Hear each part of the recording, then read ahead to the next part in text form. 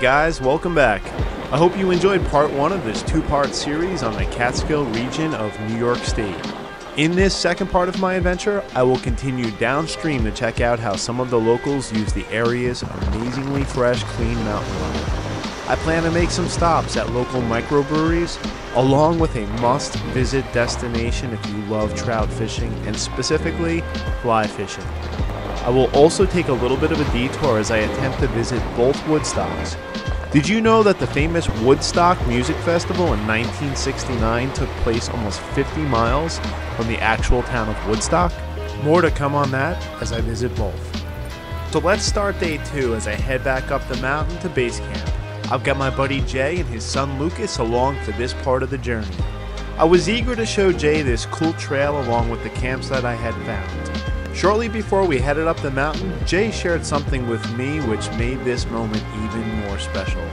Jay purchased this very nice Toyota 4Runner Trail Edition, new back in 2011. At the time he purchased it, he had planned to hit the trails and have fun with its many capabilities. As it happens with many of us, life takes us many places, and this 4Runner never really had the opportunity to see trails.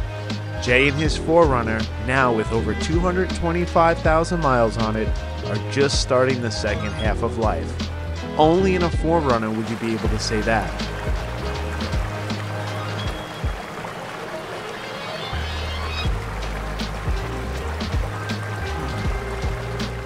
As we arrived at our base camp, it was time to set up, and also allow Scout to burn off some energy. Although this was not Lucas's first time camping, it was his first time setting up a tent with his dad, and he did a great job while having fun doing it.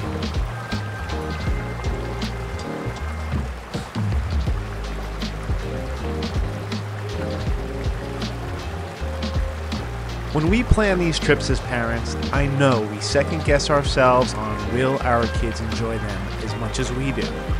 I started taking my girls camping before they were both five years old. They have always had the greatest of times.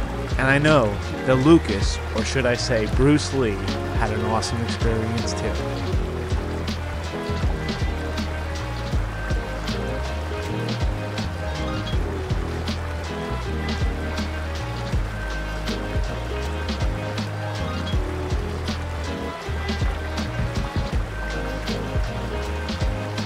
Now that we had set up camp, I started cooking up some sausage and peppers for dinner. Jay and Lucas headed out to collect wood. This area was rich with fallen lumber. Everywhere we turned, there was a downed tree. Finding the ones that were adequately dry was a task. But within a short while, we felt ready for what we knew was going to be a cold night.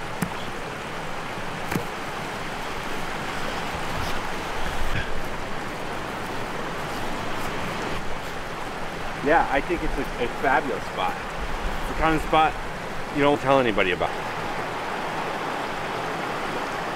After a nice dinner of sausage and peppers, we headed out for a little hike. In fairness to Lucas and Scout, we did not want to spend the whole evening sitting around the fire without doing some exploring. And for a kid his age, his appreciation for all things nature was so cool. The further we walked into the woods, the more his imagination of what could be or have been was fun to listen to. It was great to have reinforced that kids love the outdoors more than anything else. And you know what I mean. It's my ice sword.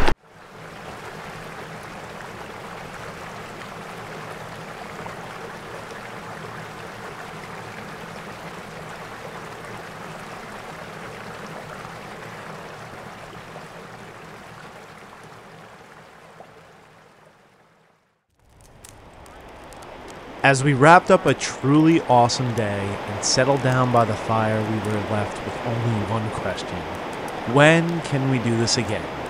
The next day, Jay and Lucas would be headed home, and I would be headed off to start my day at the original site of the Woodstock Music Festival at Bethel Woods.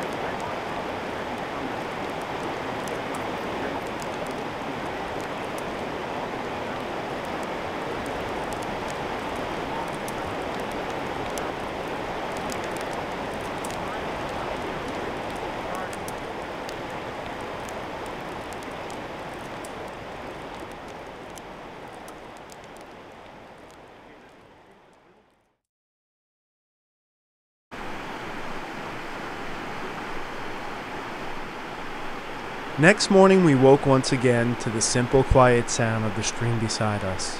We immediately started the day by trying to collect wood to keep our fire going for a short while before we headed out. The water was boiling, and I had the French press along with a hot chocolate packet ready to go. To say that this morning was cold was an understatement. I would admittedly say that it was not an easy sleep, and that Scout had never been held so tight through any night before this. After finishing up our much needed hot drinks, Scout and Lucas took a quick stroll along the stream. These two had created a special bond. After they returned, I now headed out on my way to Bethel Woods, home of the original Woodstock Festival, and Jay and Lucas would be heading home.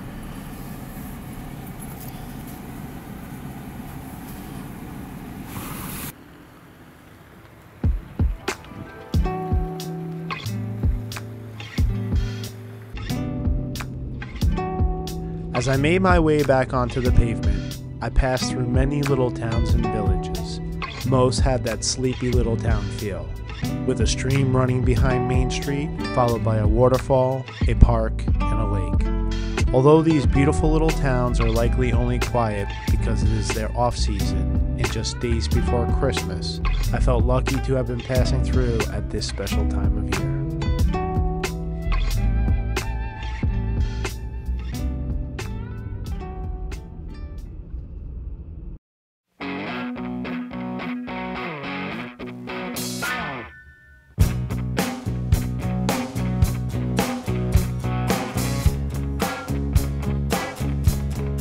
Just down the road from the museum on the far side of the property is a small park with the historical marker of the actual field and stage of the Woodstock concert event. As you look at this photo, I am standing in the lower right hand corner of the field.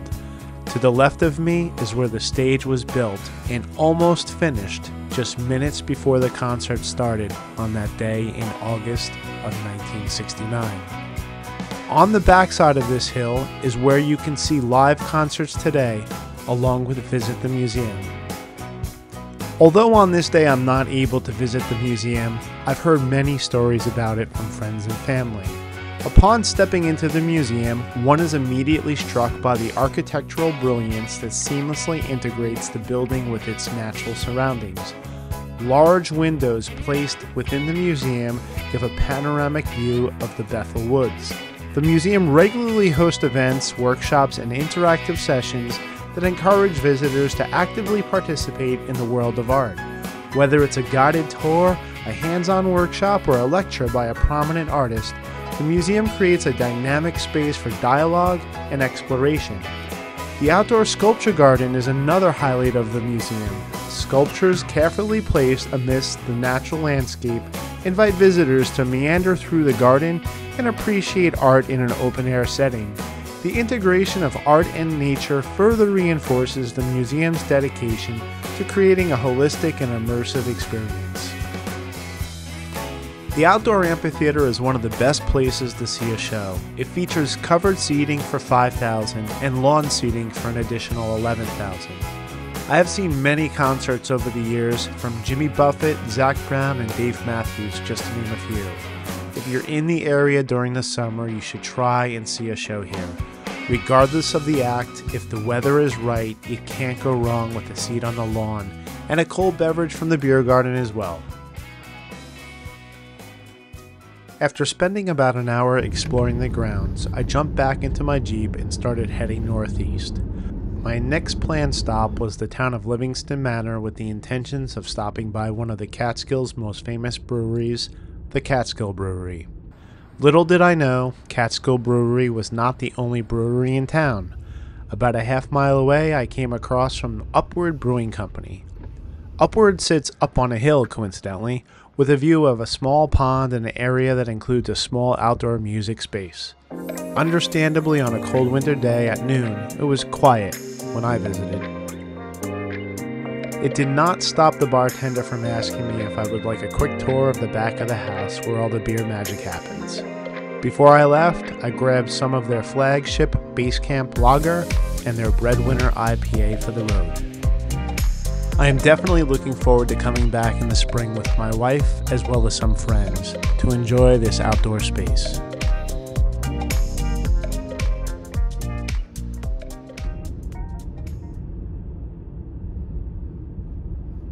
As I continued down the road through Livingston Manor, I finally made my way to my original destination, Catskill Brewery. As I pulled into Catskill Brewery, I immediately felt warm and welcome with the sight of a big red barn. Catskill Brewery is known for some of the largest variety of microbrews in the area. They also are always sure to mention that their beer is made with the finest water, Catskill Mountain Water.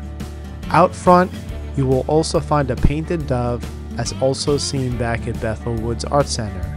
This is part of the Sullivan County Catskills Dove Trail, commemorating the 50th anniversary of the 1969 Woodstock Festival.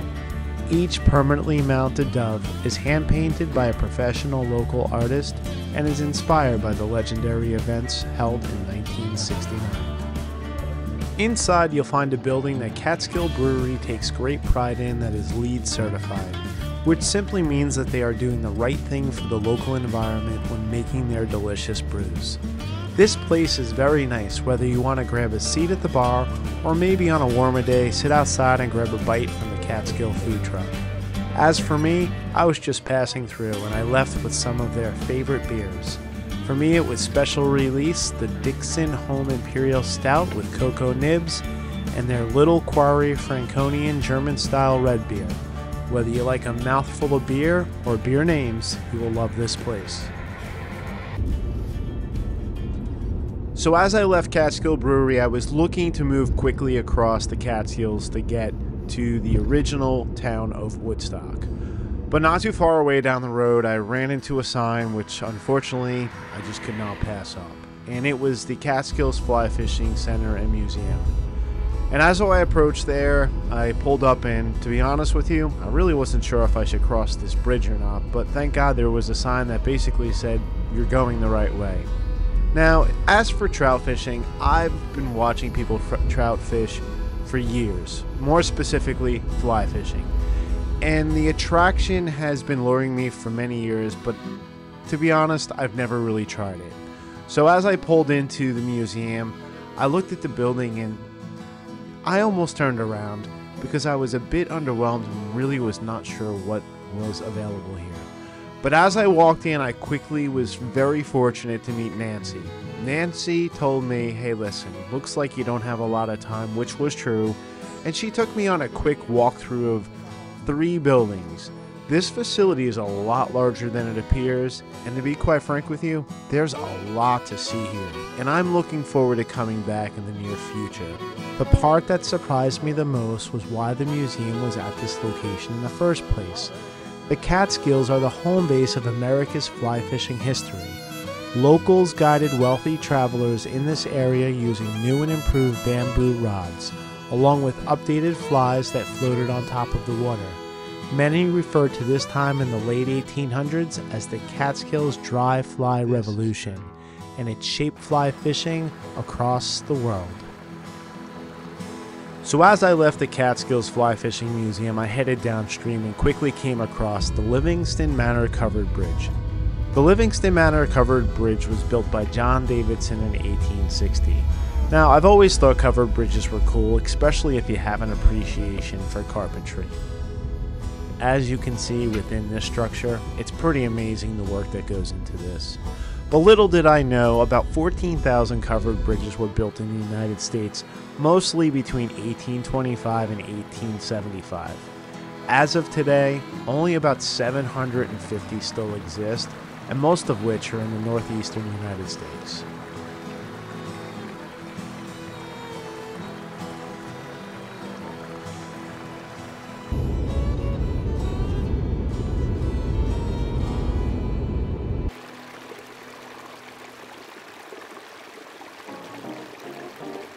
So once again, I was back on the road, making an effort to try to get to Woodstock, New York.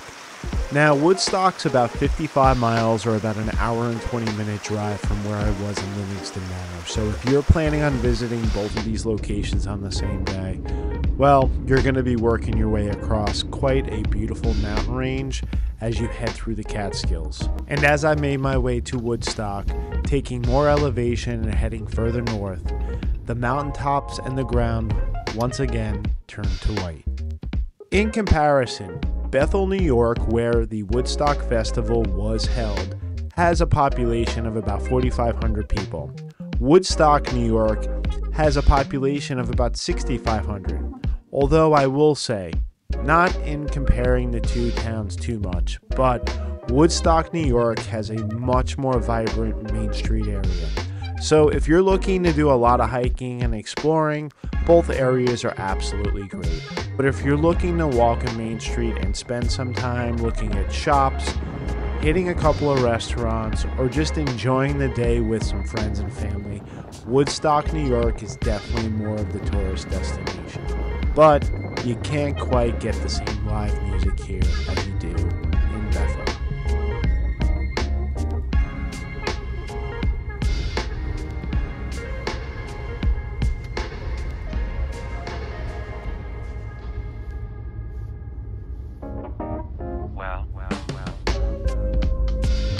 So, as I wrap up my third day and my last here in the Catskills, in this two part video series on the Catskills, I would encourage you all to take the time to come and visit the Catskills. Whether you're coming from anywhere in the Northeast or anywhere in the US or outside the US, you will find this area beautiful no matter what time of year. If you are here during the winter time, there are many mountains to ski as well as snowshoe. So please make sure you plan ahead because it does get very busy, especially on the weekends. In closing, I hope to get back to the Catskill area this summer or spring to share more with you on the area. Before you go, please just a reminder if you didn't get a chance to check out part one of this series or one of my other videos, please do so. And as a quick reminder, I've set a goal to have a thousand subscribers by March. I'm working hard towards it, so I'd hope that you take the time to subscribe, like, and share if you like what you see.